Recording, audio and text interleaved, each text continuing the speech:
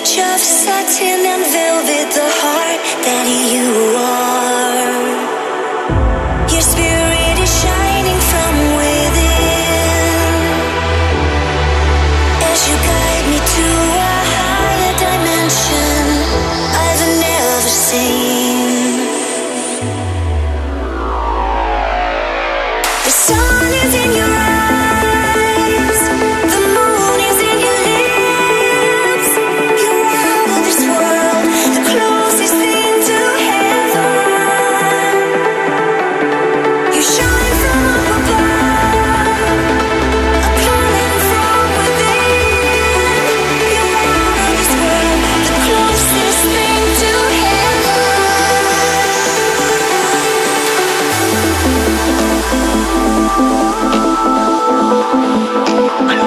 Thank you.